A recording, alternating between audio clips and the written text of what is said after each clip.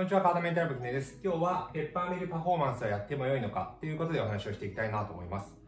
えー、うちに来てくれているね、子たちもこのペッパーミルパフォーマンス、こういったやつですね。WBC の影響でヌートバー選手や大谷選手がやっていてそれを真似して、サッカーやってる子ですらゴールを決めた時にこれをやってるっていう話を聞きました。で、それを聞いた時に、まあ、日本が盛り上がっていていいなと単純にこう微笑ましいなというふうに思ったんですが、昨日これ、昨日行われた甲子園で東北高校と山梨学院戦で東北側が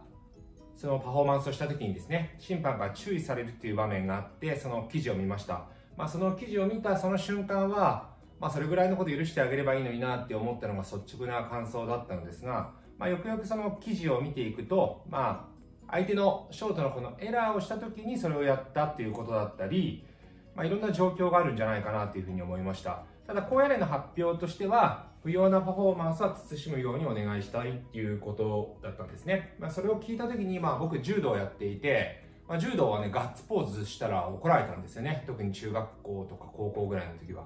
ガッポーズ、あの、一本って技を取ってもガッツポーズするなっていうふうに言われてたんですね。でも、やっぱ一本取るとしちゃうんですよね、反応的に。うん、だから、なかなかそれを抑えるのって難しいなというふうに思ったんですけど、まあ、柔道の場合は武道なので相手に礼節を持って、まあ、そういった感情は抑えろということだったんですけど、まあ、それをある程度理解をしながらやってきました。でただですね今回の場合こう甲子園に行くような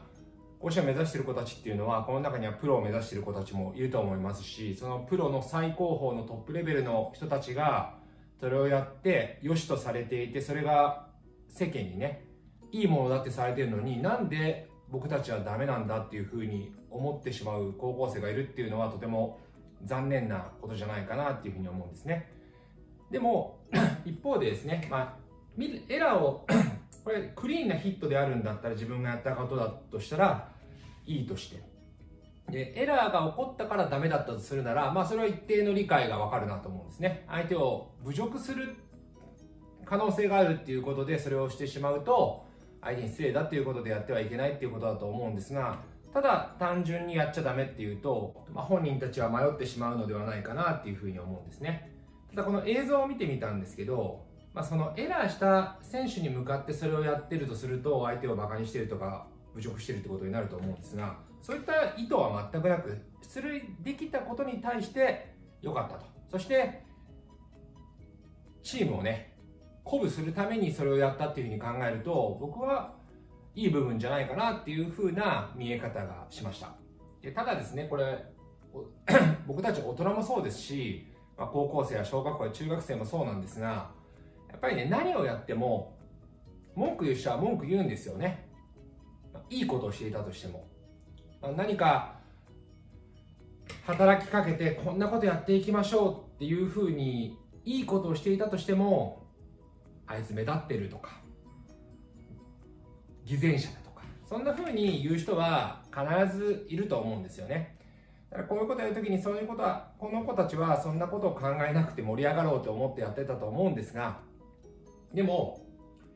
この目的がですねこう今から盛り上げていこうとそういった目的を持ってやっているんであるんだったら僕は決して悪いことではないかなというふうに思いますし一つ覚えておいてほしいのは何をやっても何か文句言う人はいるなと。自分の中で意図を持って目的を持ってやりたいと思ってやるべきだと思ってやるっていうふうに思ってやることはすごく大切なことだと思うしそこを重要視してほしいなっていうふうに思いました。